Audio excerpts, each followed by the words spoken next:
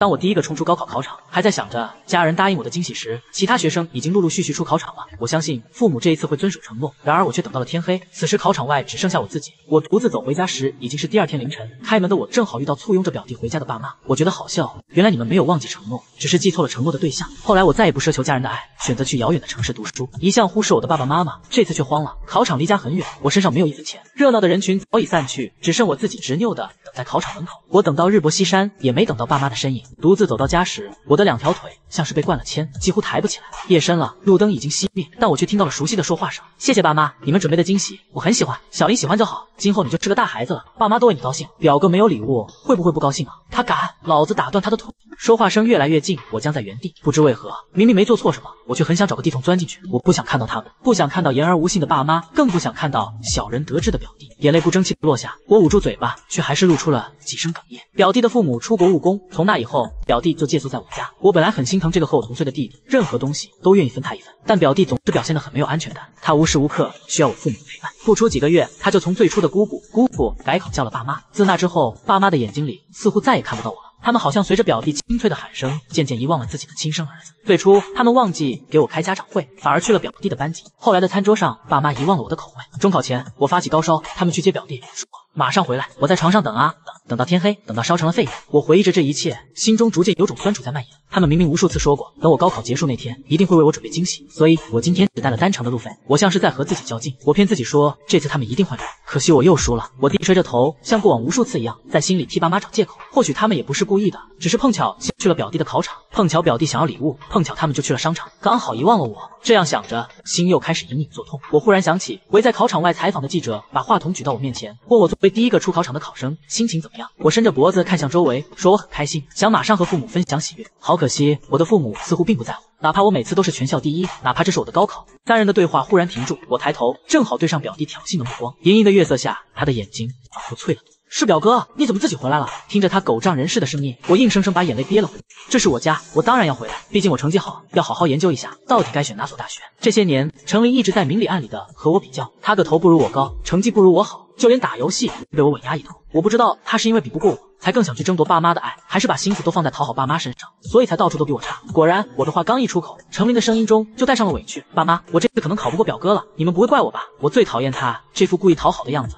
毫不留情的回怼。你可不是这次考不过我，自从你来到我家，就没有一次能考过我。话刚说出口，一阵天旋地转，我在地上坐了半晌，才被脸上火辣辣的疼痛和爸爸的怒吼拉回思绪。你在炫耀些什么？谁允许你在小林面前攀比的？什么叫来到你家？这里是我们小林的家。我听着爸妈的骂声，半天没缓过神来。我没有炫耀，我就是方方面面都比他强。而且爸爸妈妈，如果这是你们何成林的家，那我呢？我一只手捂着肿胀的脸，另一只手撑在地面上，想要站起身，可是双腿走了太远，已经完全不听使唤。我再一次跌坐在地，我不想在成林面前这样狼狈。就在我又一次努力站起身的时候，妈妈冷嗤一声开口了：“白话，你做这副样子给谁看啊？你爸打的是你的脸，又不是你的腿。你真是学习学傻了，装都不会装。哪怕已经有无数次被冤枉的经历，可这一次，我忽然觉得好累啊！我确实装都不会装，因为我每一次受到的伤害都是真的。”和过去无数次一样，这场插曲只一夜就被爸妈忘记。他们没有向我道歉，也没问我究竟是如何回的家。餐桌上，爸妈争先恐后的往程琳碗中夹菜，想用偏爱的方式弥补他永远都考不过我的遗憾。程琳得意的灭我一眼，我懒得接招，继续吃饭，因为今天我还有很重要的事情不能耽搁。当我怀揣着期待再一次看向挂钟时，敲门声终于响起。我克制住从椅子上弹起来去开门的冲动，刚站起身，程琳就抢先拉开了家门。柳如烟，我的同桌，也是我最孤立无援时唯一照亮我的光束。我有些紧张的握住手。想着怎么对家人介绍他，就在我组织好语言，刚要开口时，程琳刺耳的声音抢先响起：“爸妈，你们看，这是我女朋友如烟。”我像是被浇了一盆凉水一样，愣在原地。程琳的女朋友，我眼睛一眨不眨的盯着站在门口的二人，试图在柳如烟的脸上找到些解释。可是除了她眼中的嘲讽，我什么都没看到。柳如烟先甜甜的叫了叔叔阿姨，然后和程琳并肩出了家门。看着他们亲密的样子，我怀疑自己的记忆出现了问题。明明是他先对我表白的，他说喜欢我，想和我上同一所大学，和我有个家。我每一次要撑不下去的时候，都在幻想着我们的未来，然后更加努力。可程琳为什么说柳如烟是他的女朋友？我忍无可忍，追出门去质问，换来的却是两人毫不留情的嘲笑。白话，我不过是在无聊的时候逗逗你，你怎么还真和条狗一样甩不掉了？我看着面前十指相扣的二人，如坠冰窟。他们亲密的姿态不似作伪，这只能说明一切都是真的。程琳不仅轻而易举地抢走了我的父母，而且早就和柳如烟在一起了。我扯出一抹自嘲的笑，想算了，就算一切都是假的，但我的。成绩是真的，也许我应该离开这里。可这样想着，我还是觉得不甘。为什么却会变成现在这个样子？我可以解出老师口中超纲的题目，但是永远都解不开自己的困境。见我站在原地，柳如烟带着些嘲讽开口：“你哥怎么了？被刺激傻了吗？”程琳笑得格外张狂。那他如果知道是你把他的所有笔记都扔掉，会不会直接自杀呀？咱们还是快走吧，舔狗万一发疯咬人可怎么办？原来我付出所有心血的笔记是这样消失的，身体比大脑更快一步行动。我的巴掌直接甩到了程琳脸上，接着我就被一股力气踹跪倒在地。孽障，你敢打你弟弟？我毫无防备，膝盖着地，擦出一大片伤口。我回过头，不可置信地看向赶来的爸爸，是他们联手玩弄我的感情，是他们丢掉了我的笔记。但我还没来得及开口，脸颊就被爸爸狠狠甩了一巴掌。你这个小肚鸡肠的畜生，给你弟弟道歉！在路人嘲讽的目光中，我撑着地面慢慢起身，目光扫视过面前几人，是程琳让他女朋友故意接近我，丢掉了我的笔记。我做错了什么？我为什么要道歉？匆匆赶来的妈妈没有看到我的膝盖在流血，反而心疼的去查看程琳的情况。好孩子，快让妈妈看看你没事吧？我看着他紧张的模样，绝望的开口：妈，我只是打了他一下，但是我妈。妈拧着眉打断了我的话，白话，你太过分了，喂哥哥，你为什么不能让着弟弟？听着妈妈质问的声音，我心如刀割，我连爸妈都让给他了。你们还想要我怎么让？我的声音很大，四周的路人渐渐停下脚步，向着这边张望。爸爸最爱面子，如今脸色铁青。你说把我们让给了弟弟，我们这不是也把你养大了吗？我看着他被气到颤抖的模样，心中仿佛有什么东西在涌动。是，我是长大了，但我是怎么长大的？这些年你们关心过我吗？昨天我独自从考场走回来，你们知道吗？听了我的话，妈妈面上忽然闪过些错愕。白话，她似乎终于想起了我们说过无数次的约定，我一定会考上好大学。在那一天，她和爸爸会早早的在考场外等我。程琳忽然开口，打断了妈妈的话。妈妈，对不起，我不知道这些，可是那天我我有点中暑。不然我也不会让你们接我的。听了程琳的话，我嘴角划过一丝无奈的笑，因为我已经知道接下来会发生些什么。妈妈迅速拍了拍程琳的肩膀，表示安慰。然后你没看向我，白话，你就是这样对待弟弟的。程琳不舒服，我们多陪陪他，有错吗？你现在的嫉妒心太强了，你给我滚回家去反省。得不到程琳的原谅，你就一直不许出来。我最终没有道歉，但我还是出来了，因为他们一家要带程琳去旅游散心，怕把我锁在杂物间会饿出人命。在他们心里，我似乎还是那个刚刚上初中的小孩，被关起来后只会不知所措。他们忘记了我长大了。这张单薄的木门，如果我想出来，根本拦不住我。可我什么都没做，只是站在客厅看着他们快乐离去的背影，然后扔掉了从小一直珍藏的相册。我早就在相册留好了位置，等待放上我高考结束时一家三口一起拍的照片。我没等到，也不想要了。现在的我只想离开，越远越好。我不知道他们要去哪里，要去多久，没人告诉我，也没人留给我一分钱。膝盖的伤口没有处理，我一瘸一拐的去了小区诊所。诊所的医生是个很和善的阿姨，一见我就夸张的喊了起来：“这不是第一个出考场的考生吗？我见过你，没想到是一个小区的。”接着他的目光下移，看到了我溃烂的伤口。天啊，怎么伤成这样？你爸妈不管你吗？我扯出一个抱歉的笑容。我爸妈出去旅游了，我我没有钱。我是一个自尊心很强的人，不愿意在别人面前示弱。或许是伤口太痛，或许是心里难受。我说完这句话，眼眶不由自主的红了。医生被我吓了一跳，连连摆手：“不要钱，不要钱，阿姨给你上药。这伤口里还嵌着你也太不小心了，再拖下去发炎了，可不得了。”我静静的坐着，看着阿姨一边责备一边涂药的样子，眼泪大颗大颗砸落下来。我忽然想起程琳没来的时候，妈妈也是这样关心我的。责备是因为爱，可现在他们的责备只是因为偏心。我不想继续待在这个没有丝毫公平可言的家里了。上完药，阿姨贴心的拿了瓶水给我，我接过道谢后，径直走去了学校。我把水给了门卫，向他打听了班主任的住址。明明一个电话就能解决的事情，可是我没有手机。爸妈说玩手机会影响学习，转头却给程琳买了最新款的苹果。想到这些，我的心又开始一下下的疼。顶着烈日走到张老师家时，我已经被晒得一阵阵发晕。万幸张老师今天在家，他见到狼狈的我，吓了一跳，急忙把我让进家中，打开冷气。我坐在开足了空调的客厅沙发上，连喝了两杯水才感觉自己还活着。张老师上下打量我一圈后，皱着眉开口：“白话，你这是怎么了？是不是他们虐待你？你和老师说，老师这就帮你做主。”我打断了张老师的话，有些不好意思的开口：“老师，他们只是出去旅游，忘记给我留钱了。我能不能找你？”话没说完，我的眼泪再次掉了下来。我默默垂下头，用手捂住脸。为什么？我不明白为什么。老师愿意帮我，素未谋面的医生也愿意帮我，可偏偏只有我的亲生父母视如同宝剑。或许是我哭得太惨，张老师的眼眶也跟着红了。他忙不迭地抽出纸巾帮我擦眼泪，又掏出一千块钱给我。白话，你是老师最骄傲的学生，你这么努力又善良，你会有最美好的未来。别被原生家庭绊住脚，你要往前走。我死死攥住老师的手，哭得难以自持。张老师留我在家吃了一顿饭，师母去买菜前特地问了我爱吃什么。我哄着眼眶大口扒饭，心中似乎没那么难过了。我为什么一定要执着去追求父母的爱？这个世界上爱我的人明明有很多。出成绩这天，旅游回来的一家三口和上门采访的记者撞个正着。一群人呜呜泱泱开门进来时，我正捧着一桶泡面，妈妈脸色有些难看，紧走几步夺过了我手中的面。白话，你怎么吃这个？等下爸妈给你做顿好的。爸爸也上前几步，把手中的游戏机往我手里塞。你看，这是我们给你带的礼物。我觉得好讽刺啊！如果是从前，他们愿意为我下厨，为我准备礼物，我一定会开心的写到日记里，然后把日记本塞在枕头下，做个好梦。可现在，我只觉得虚伪。我没接，露出一个礼貌的笑容，客客气气的开口：“这就是程琳早就念叨的游戏机，我不需要。”爸妈脸色一僵。从前，哪怕他们随手给我程琳不要的东西，我也会满心欢喜的接。接过来，珍藏起来。但是现在，我只是面色如常的夺回妈妈手中的泡面。你们去旅游，一分钱都没给我留下，这是我借钱买的面，扔了可惜。接着，我对面色古怪的记者露出一个客气的笑容，不好意思，等我几分钟。爸妈脸色铁青的走到我面前，隔绝了众人的目光，小声说道：“白话，你别闹脾气了，当着这么多人的面，别让爸妈下不来台。”我细心咀嚼着嘴里的泡面，接着又喝了口汤。你们总说我不会装，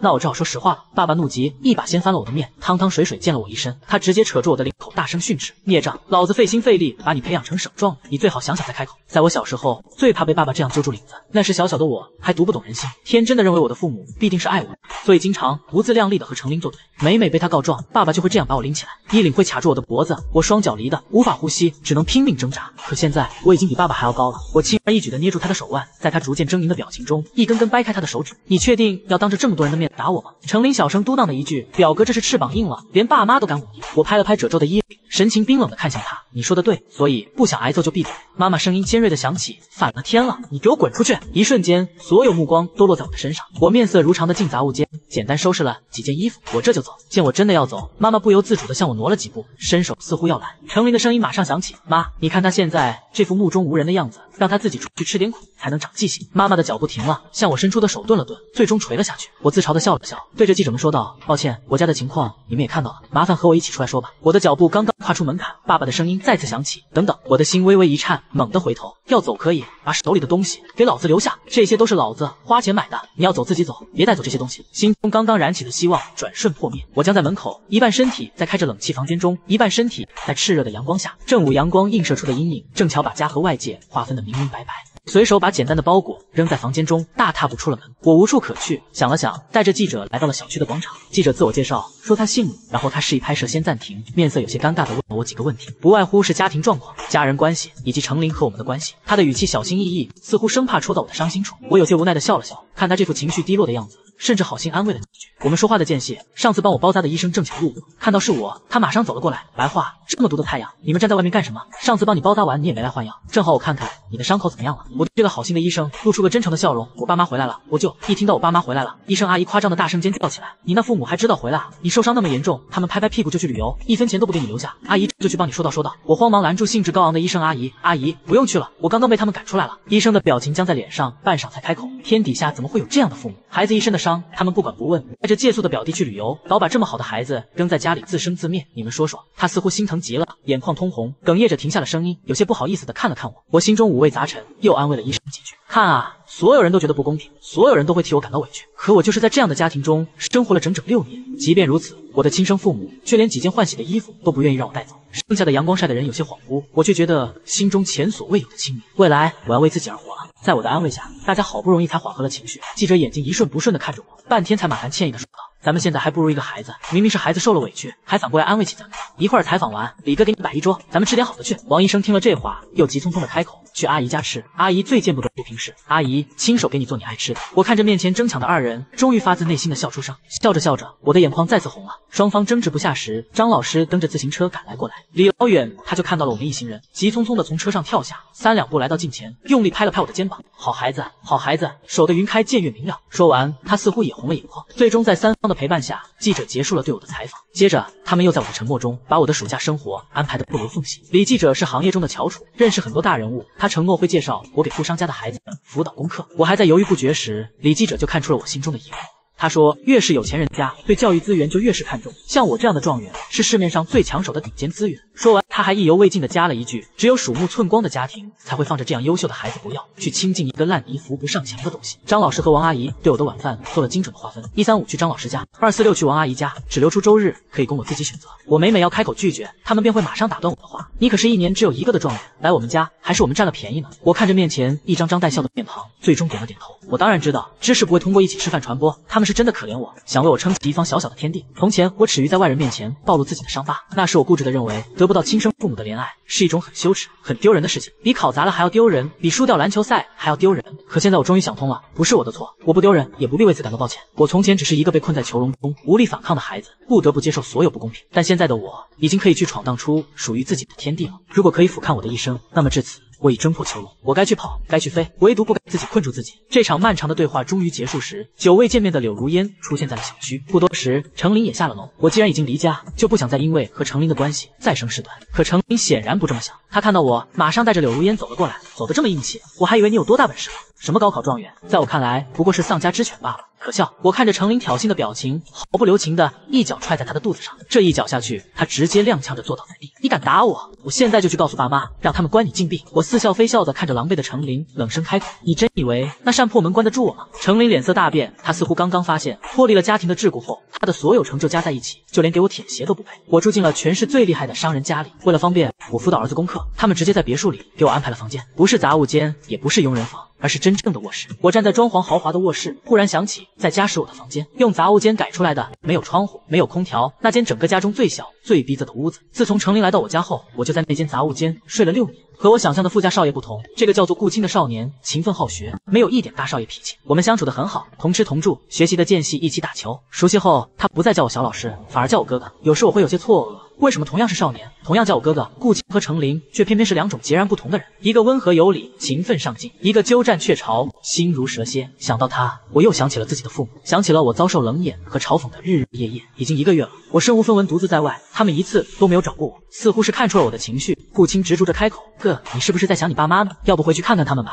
我陪着你。”隔着家门，我就已经听到了爸妈和程琳的声音，不知道是发生了什么开心的事情，他们的声音中都带着笑。我敲门的手僵在了原处，转身想走时，门却被从内打开了。看到我，妈妈表情中的欣喜一闪而过，很快换上了厌烦。在外面混不下去，知道回来了。程琳惊讶的声音在客厅响起：“呀，表哥是终于想通了，回来给我们道歉的吗？”我看着他们张了张嘴，没能发出声音。原来一个多月的不管不问，是想看身无分文的我活不下去，主动回来道歉啊！心中的最后一丝火苗熄灭，我转身想走，顾青却捏了捏我的手，大跨步走进家门。你们也知道，对于一个刚刚高中毕业的学生来说，没钱活不下去啊！爸爸不悦的皱眉：“你一个半大小子，还管起我们的家务事来了？你谁啊？”顾青拉着我的手，挺了挺胸膛：“你没看过新闻吗？我是顾宏志的儿子顾。”青，爸妈的不屑全都僵在脸上，瞬间起身把我们让到了沙发上。不好意思，是我们眼拙，您别介意。不仅他们，就连一向眼高于顶的程琳眼睛都亮了，眼巴巴的凑了上来。顾少爷，我这个表哥人品不好，又虚荣贪财，他如果有得罪你的地方，我替他给您赔个不是。他还想再说，爸妈就开始用咳嗽声对他进行警告，又眼神示意他闭嘴。接着妈妈熟络的拉起顾青的手，原来白话这段时间是在你那里，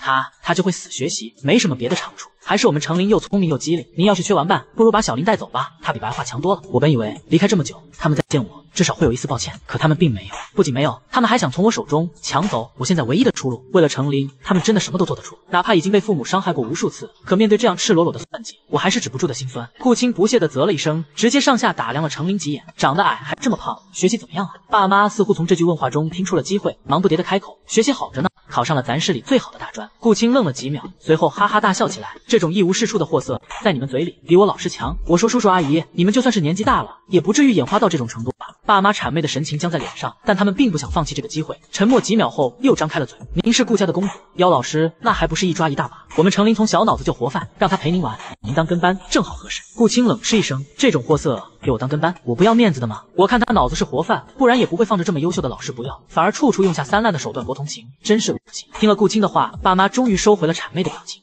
他们似乎这才确信，在外人眼中是程琳遥不可及的存在。接着，爸妈的目光看向了我，带着深深的打量，他们的眼神有些陌生，好像第一次认识我一样。程琳本就是个浮躁的性格，又在家中被偏爱多年，一点委屈都受不得，被顾青劈头盖脸的一顿贬低，他目光阴沉的开口了：“你算什么东西？凭什么跑到我家来说三道四？”顾青神色淡然地回答：“我是顾宏志的儿子，也是白桦的弟弟。这里是白桦家，我凭什么不能来？”听到“白桦家”三个字，爸妈忽然沉默了。顾青迅速打量了爸妈的脸色，继而开口：“本来想陪我哥回家看看，没想到这个家好像不欢迎他的主人。我本来还很好奇，是什么样的家庭能培养出这样坚韧不拔的孩子，没想到不是你们培养的。”而是他自己在泥泞中挣扎，才终于看到了一线天光。妈妈的脸似乎有些红，或许是被一个小辈毫不留情的指责让他觉得丢人，也或许他终于想起这些年我遭受了怎样的对待。爸爸喘着粗气，神色有些羞愧，但很快程琳的声音打破了尴尬：“你根本不知道白桦是什么样的人，就给他撑腰，我看你才是不分好坏。”顾青抬眸扫了程琳一眼。复又开口，我哥是什么样的人？他是在自己家里住杂物间的人，是膝盖受伤感染却没钱看病的人，是满心欢喜等着父母实现诺言却还是被辜负的人。你们把他赶出家门，想的全是让他在外面受苦，然后回来低三下四的求他原谅。可你们想没想过，他一个刚刚毕业的学生，他孤身一人在外面怎么活？妈妈哑口无言，爸爸声音有些干涩的开口辩解：“我们我们没想那么多，只是想着他现在脾气大了，需要搓一搓锐气。”他的声音越来越低，最后还是闭上了嘴。